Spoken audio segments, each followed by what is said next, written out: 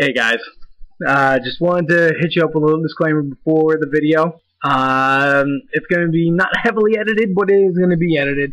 There's going to be things that are going to be cut out, uh, but there, I mean, I'm going to make it what it is. I mean, I'm not going to lie, I sucked. It was my very first class in 19 years, and I sucked. Um, yeah, so I'll post it up there, and we'll see. Uh, this isn't my usual camera. This is my uh, normal laptop thingy, not my normal camera. Uh, unfortunately, that camera is dead. So, but yeah, so I just wanted you to know, and this is what's going to happen. And yep. Sorry, I keep looking down at me. But yeah, so I'm gonna post it, and we're gonna see what happens. And what you think. Like I said, I really suck. You're probably gonna laugh. So anyway, without further ado, we got my first jiu-jitsu class.